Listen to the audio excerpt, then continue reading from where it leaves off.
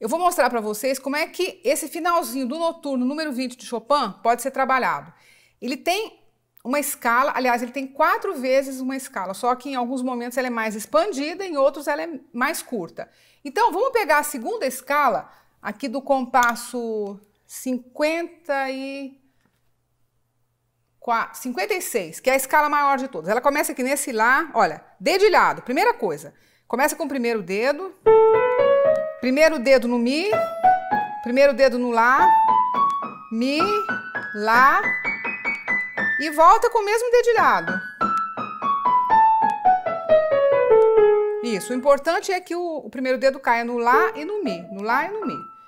As outras escalas esse dedilhado vai ser mantido. Então, o que, que a gente vai fazer agora? A gente vai dividir cada uma dessas escalas é, de maneira a que você fique com um tanto de nota, um tanto de semicolcheia com cada colcheia da esquerda. Então, vamos pegar aquele primeiro, a primeira escala, que começa com Ré.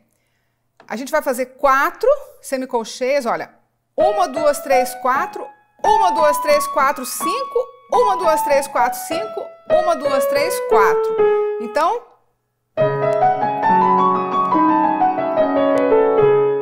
Entenderam?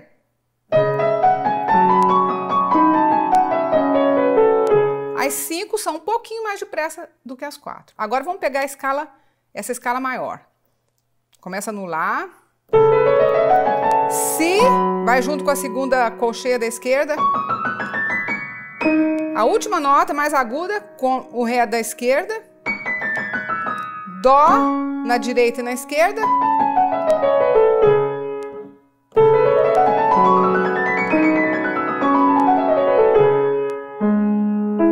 Agora, duas, três, três, três,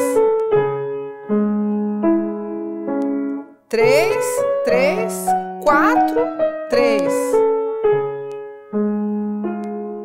É isso. Se você fizer com essa divisão, fica muito bom. Elas não precisam ser iguais. Você não precisa fazer todas essas notas com o mesmo valor. Ela pode ser um pouquinho mais rápida um pouquinho menos rápida. Por isso eu dividi. Então, vou fazer o trecho todo agora a partir do compasso 54.